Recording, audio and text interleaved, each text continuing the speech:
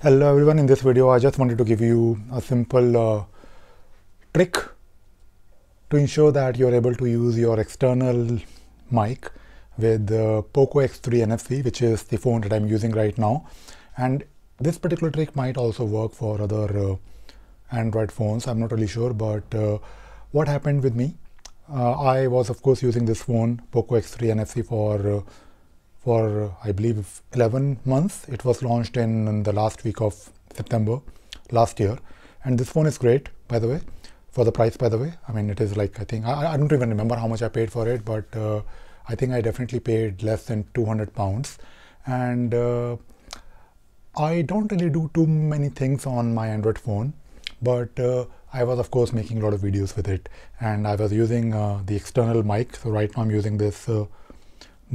Boya something, I, I, guess Boya M1 mic, which is external mic uh, that I use, uh, that I was using with this particular phone. But since the last uh, upgrade of Android, so if you're using Xiaomi phones, they have their own version of Android, which is based on Android. So I think the version 12.0.8 uh, was the last update that I got on, on this one. And uh, since then, since June this year, or maybe May this year, the external mic stopped working at all.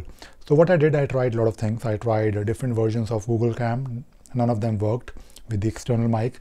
Then I tried Open Camera, and Open Camera also, uh, although it worked, but the audio level was uh, very low for the external mic.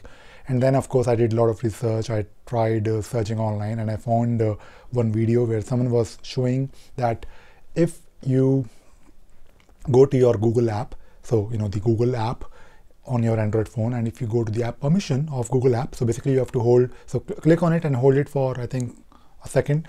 And then you can click on I. So basically you have to go to the Google app permission and uh, you have to basically deny the microphone permission for Google app. And once you do that, uh, your Google uh, camera will work perfectly. Although Google camera, the, the microphone will, the, the microphone will work, but uh, in my case, the stabilization was not really perfect for the uh, for the wide angle camera. It was not as good as the Xiaomi's uh, own camera app, and uh, I think uh, for me, I was of course using uh, 30 FPS, 4K 30 FPS with stabilization. I think there is one option called stabilization with active mode, and I was using version 8.2. I think version for Google Cam version 8.2 works really well, and uh, if you want, you can also try open camera because uh, once you deny the permission for Google uh, app for microphone, the open camera will record the audio level perfectly fine. So uh, I thought I'll probably make a video on this topic. Right now, of course, I'm using Google Cam with the front facing camera and I think it is quite okay. I believe the audio should be all right. So I'm using this uh, mic here.